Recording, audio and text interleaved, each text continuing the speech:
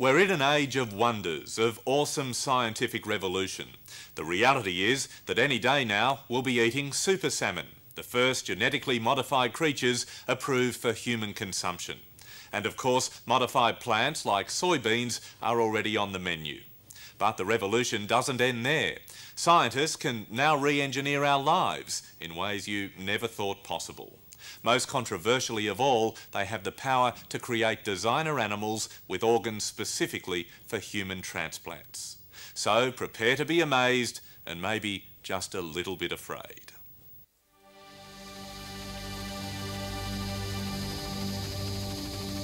On the edge of Newfoundland, in the spectacular wilds of the North Atlantic, I'm about to wrestle with one of the great scientific controversies of our time.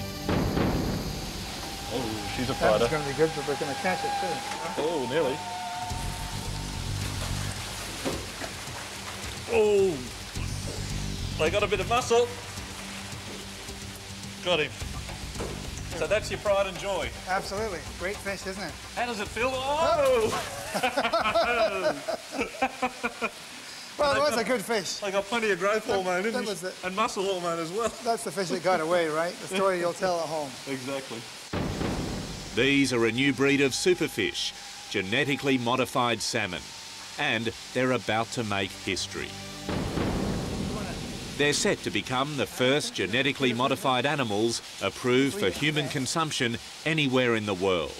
And that makes their creator, Dr. Garth Fletcher, a very proud man. How does it feel to create a superfish? Well, it's just very nice. Uh, I'm glad you think of it as a superfish. It's uh, just a regular salmon, except it grows faster. A lot faster, up to 10 times faster than normal salmon, thanks to growth genes from other fish species spliced into their DNA. You lose it. Now the key to all of this are the big fish and the little fish are the same age. They're exactly the same age. Fertilized at the same time and cultured at the same, under the same conditions. All these fish are just six months old. The bigger ones carry Dr. Fletcher's controversial genetic modification. The smaller ones don't. Commercially, I can see why you want to do this. Oh, yes. Oh, yes. And then we take the eggs and sperm from But while the fish farmers are hailing this genetic tinkering as a miracle that will feed the masses, environmentalists have labelled these salmon Frankenfish. Never mind calling me names or the fish names. The, the thing is, is it safe to eat? That's the question, not the label of it. And is it safe to eat? I think it is. I know it is. I was going to pick you up on that. Do you think or do you know? I know it is. Sometimes you just got to say no to certain technologies. Just because it can be done doesn't mean that it should be done. And with these salmon, I'm telling you, it shouldn't be done and they should never be released into our oceans and into our rivers. Washington lawyer and scientist Andrew Kimbrell is one of America's most outspoken campaigners against genetic engineering. These genetically engineered crops and fish can cause new allergies, they can lower the nutrition in the food, they can cause toxicological responses. Food that was formerly safe can now become toxic. We've never done any long-term testing on these foods, and yet we've let them into our supermarkets and we're feeding millions of people this food. Just as alarming, says Andrew Kimbrell, is the threat to native species. In North America, there are fears the new super salmon could escape from fish farms and wipe out the already threatened wild salmon. If one of these genetically engineered organisms is released into the environment, you can't recall it. It's not coming back. It will grow and disseminate, and if it's going to be damaging, it will be catastrophic. They come in, and they contaminate, and they destroy. How does that sit with you? Well, it, it's highly imaginative. You dismiss it? Well, I mean, it's a highly unlikely scenario that he's speaking of. Highly that- unlikely. Uh, Well, I feel it's highly unlikely. And what we plan to do is produce animals which are sterile, so when they're grown in the environment, at least they can't uh, mate with the wild salmon. Can you guarantee 100% that all the genetically modified fish that you produce will be sterile? Well, I don't think anybody can guarantee anything 100% in this world. What I can guarantee is that much of the processed food we're now eating in Australia contains genetically modified ingredients imported from overseas, but soon we'll be growing our own. This is a test crop of engineered canola in Wagga, New South Wales. Now it's claimed this canola will improve weed control, produce bumper crops and generally make our lives a whole lot better. But the company that actually created it, Bayer, won't talk about it. Let's talk about what the crops are really doing. I am so tired of hearing that these crops are going to save the world. When it all comes down to it, again, we've got one genetically engineered crop that lets us put more herbicides in the environment. That's the bottom line.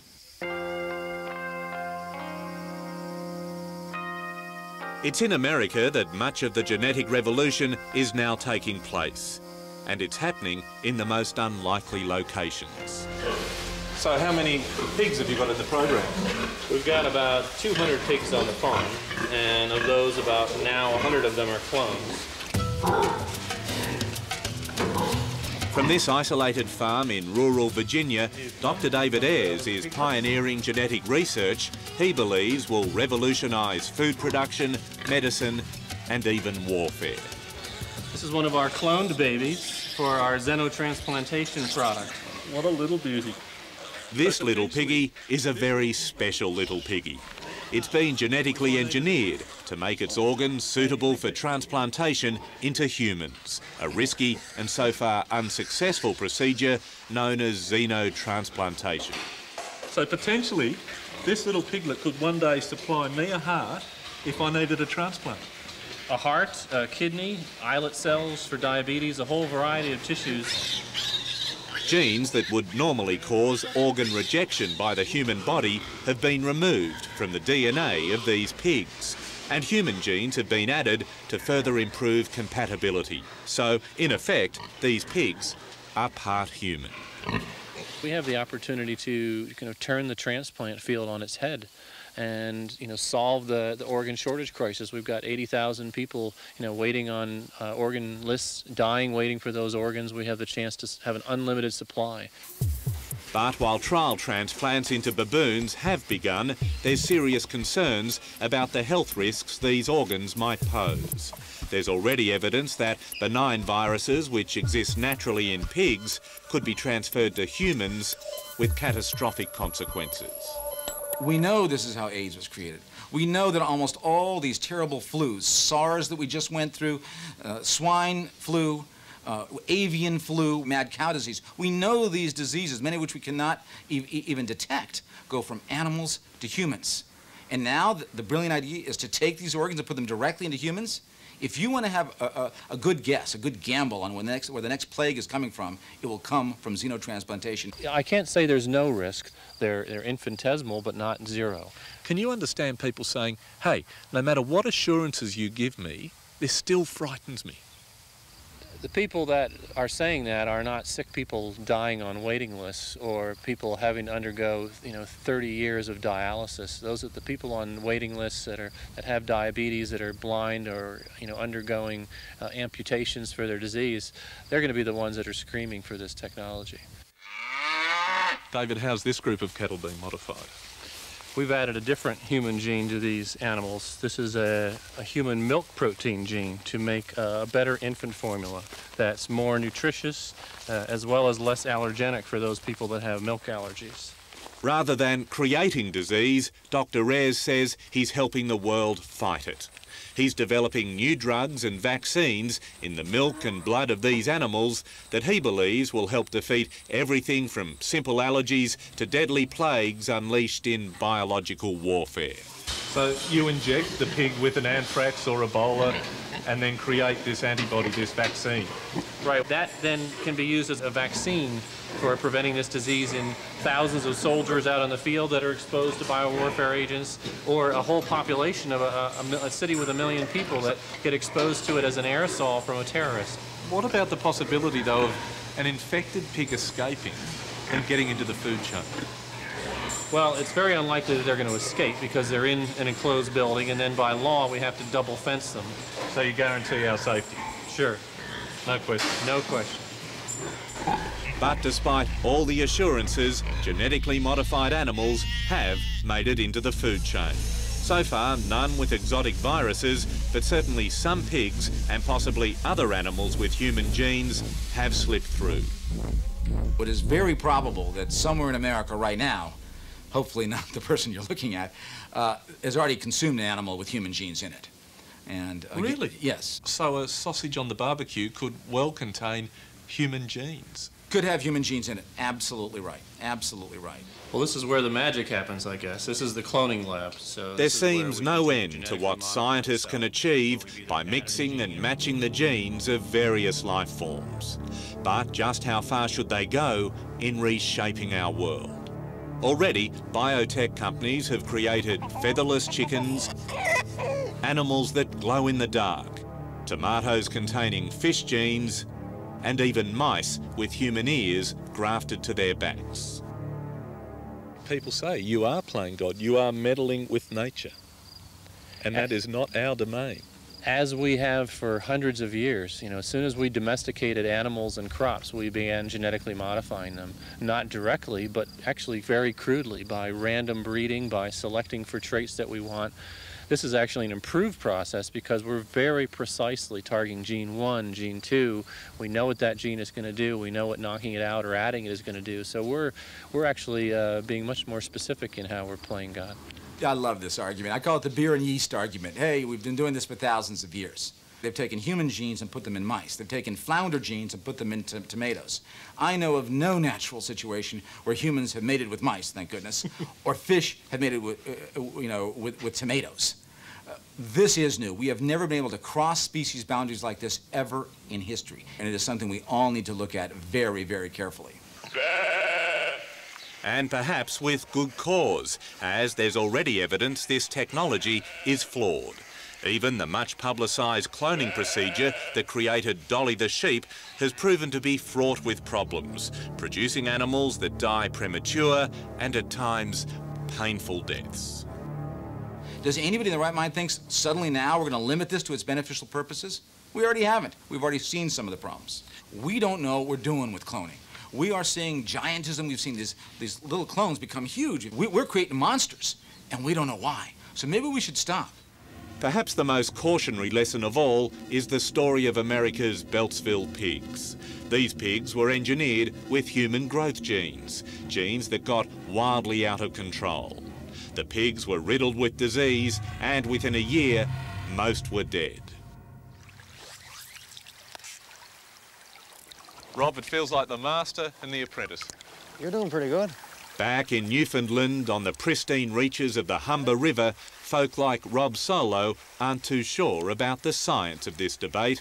All they know is that should one of the super salmon escape into the wild, it could spell disaster for their prized native salmon. What's at stake? A whole, a whole river, a whole species, and it wouldn't take too long. There's a real move afoot throughout the world to say no to gen- genetically modified foods. And why should the salmon be any different? It should be treated the same. Uh, Why fool with nature? Why, why fool with perfection? Historically, this is one of the world's great fisheries, isn't it? Oh yes, we're standing on the on the edge of the Grand Banks, which are the largest cod fishery in the world, or the largest fishery in the world. Undeterred by the stink over his controversial salmon, Dr. Fletcher has grand plans. He hopes to revolutionise aquaculture worldwide and create a new industry here in Newfoundland where much of the once great fishing fleet now lies idle. His next challenge, to convince the rest of the world. Do you believe in what you are doing, that it's safe and right? Yeah, Because some people would I mean, argue it's certainly safe, safe, safe for human consumption. I have no, I have no doubts about that part of it. Now, right? What does that mean by right? Does an animal have the right to a certain genetic integrity? Do a few researchers have the wisdom, have the right to change forever the permanent genetic code of salmon, of all the crops of the world, of all the animals of the world, of human beings for fun and profit? Do they have that right? We don't believe that they do. Well, I mean, frankly, I mean, it would be really nice if we had nothing but wild salmon out there all the time. We didn't have to do this. If you wish to have fish on your plate in the future, aquaculture is the way to go.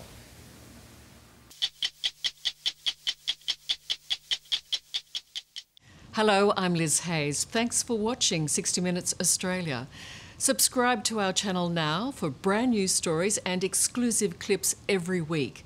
And don't miss out on our extra minutes segments and full episodes of 60 Minutes on 9now.com.au and the 9Now app.